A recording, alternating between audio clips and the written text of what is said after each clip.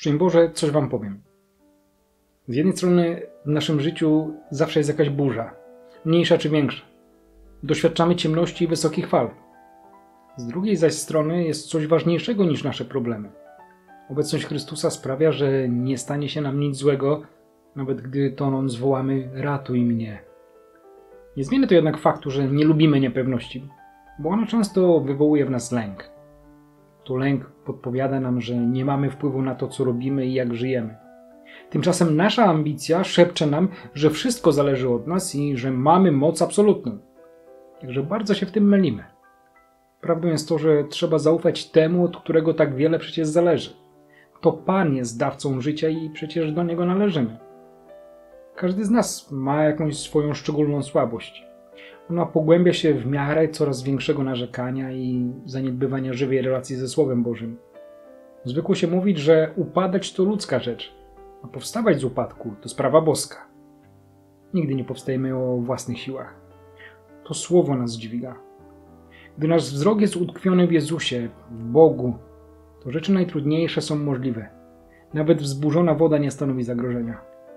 Natomiast gdy tylko polegamy na sobie, powraca ten strach i zaczynamy tonąć. Wiara Piotra w tej próbie okazała się zarozumiałością.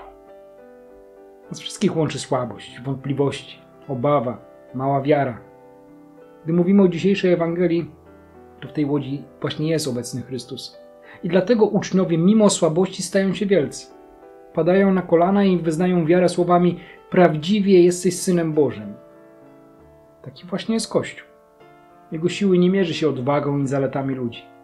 Mimo licznych słabości czujemy się bezpiecznie, gdy widzimy właśnie Jego, chociażby w czasie adoracji, gdy słyszymy Jego słowo. Obecność Jezusa usuwa lęk w ludziach, bo On jest źródłem pokoju i spokoju.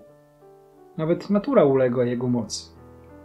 Antoni Kępiński, lekarz, psychiatra, humanista, filozof, napisał Im większe w człowieku wewnętrzne rozbicie, poczucie własnej słabości, niepewności i lęk, tym większa tęsknota za czymś, co go z powrotem scali, da pewność i wiarę w siebie. Burza najbardziej niszcząca nie jest na zewnątrz nas. Ona rośnie i staje się groźna, jeśli liczymy coraz bardziej na siebie pośród fal świata, który przeciwstawia się Bogu.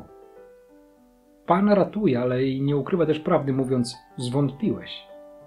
Owo zwątpienie, zawahanie się między morzem, który jest naszym światem zewnętrznym, jego wszystkimi zagrożeniami, a Jezusem, wystawia nas na niebezpieczeństwo zatonięcia. Lecz każdy nasz krok, każdy upadek, każde zwątpienie jest tylko w jednym celu by na nowo zobaczyć Pana oraz by pozwolić, żeby Jego słowo nas podnosiło, dając nam ocalenie.